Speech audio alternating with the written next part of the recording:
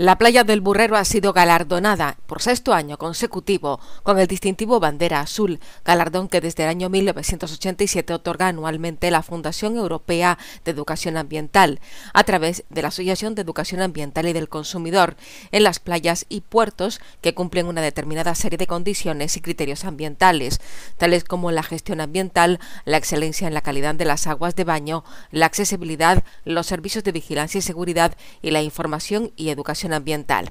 El Ayuntamiento de Ingenio, a través de la Concejalía de Medio Ambiente y Playas, ha informado que este jueves 4 de mayo la ADEAC hacía pública la relación de playas galardonadas con la bandera azul 2023, entre las que vuelve a estar un año más la playa de ese término municipal. Este distintivo de calidad ambiental permitirá izar y ondear la reconocida bandera azul durante la próxima temporada de verano. Según apunta la ADEAC, España sigue liderando el ranking de países con más banderas azules del mundo, 729, a pesar de la regresión del litoral y de la grave sequía, reconociendo el gran trabajo de los municipios, puertos deportivos, comunidades autónomas y Estado por mitigar los efectos del cambio climático y mejorar la accesibilidad y la seguridad de las playas.